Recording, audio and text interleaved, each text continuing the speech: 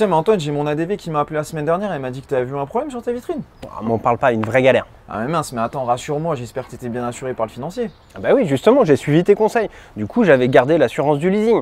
Et heureusement, parce qu'en fait, ça m'a permis d'avoir une bien meilleure assurance, beaucoup plus large. Et en plus, comme c'est le fournisseur qui est identifié en tant qu'expert, eh ben, ça a été pris avec une bien meilleure réactivité. C'est-à-dire qu'au bout de deux semaines, j'ai eu le changement de mon matériel. Avec mon assurance, ça aurait jamais pu être possible. Donc vraiment là, honnêtement, Kevin, merci de ton conseil. Merci, c'est validé. Avec plaisir.